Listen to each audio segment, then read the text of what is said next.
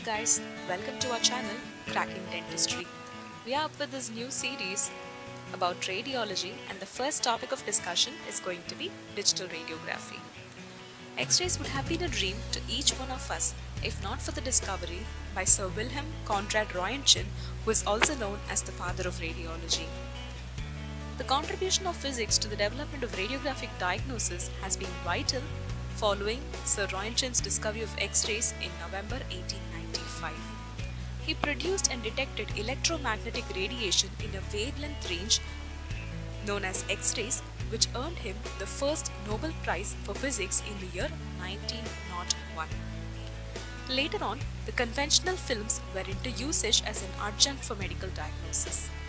These conventional radiographic films were embedded with silver halide grains that had to be processed either manually or using automated devices. They could be used both intraorally as well as extraorally. Apart from generating radiographic waste, these conventional films had its own limitations. The post-processed image correction was not possible in these conventional ones, which means an error once done remains forever. To overcome the shortcomings of these conventional films, Dr. Francis Mouyen in the year 1987 introduced the first digital radiographic system or the filmless imaging system, also called as radiovisiography. There are many advantages of the digital imaging systems over the conventional ones. First and the foremost, there is no generation of radiographic waste either in the form of the processing chemicals or in the form of the exposed films that get stacked up after being used. Secondly, it does not require any processing technique. Third, any alteration or image adjustment can be done post exposure using inbuilt computed software systems to enhance the diagnostic quality of the radiographs, like adjustment of the brightness or the contrast or the saturation, and even the sharpness of the image to give you a clear image for your diagnosis. Last but not the least, and most importantly, these X-rays can be taken with a very less radiation exposure when compared to the conventional ones. This abides by the ALARA principle, that is, as low as reasonably achievable, which is very safe for the patient. So let's have a look into how this conventional X-rays gets digitized. This process begins with the numeric formatting of the X-ray images. The conventional X-ray films are here replaced by digital sensors and the image produced is numeric and discrete in two ways. I am introducing a new term here also called as the picture elements or pixels, a short form of it.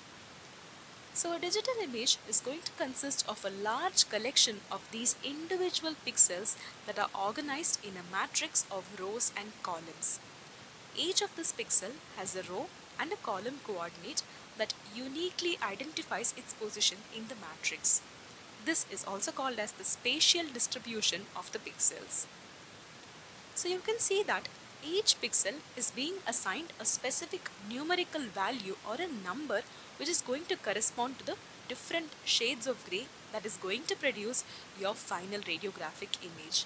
Oh, and it's not just 50, a little more than that.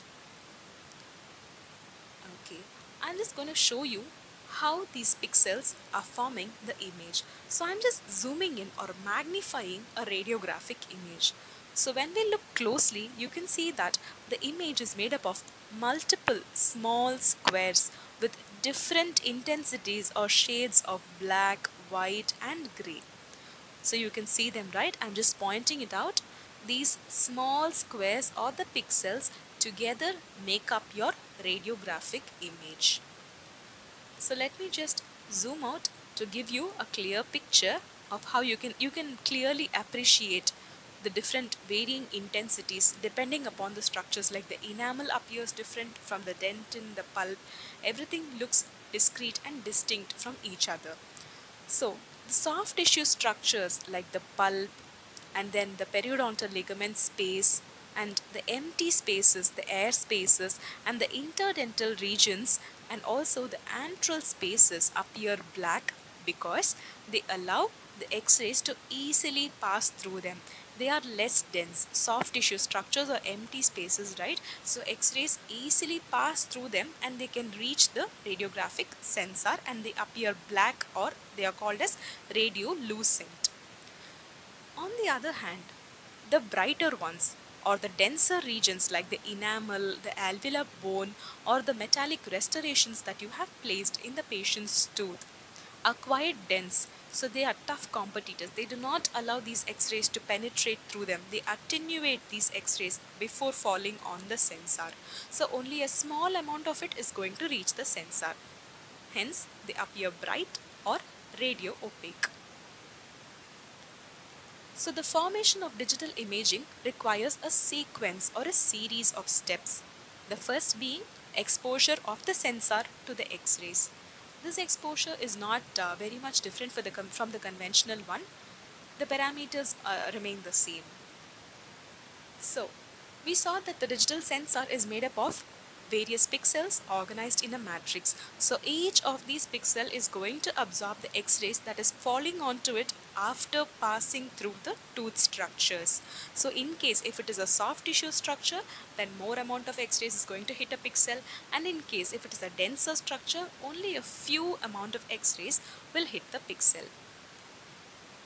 So these x-rays that are being absorbed is going to generate an electric voltage and this voltage is going to be proportional to the amount of x-rays that have been absorbed.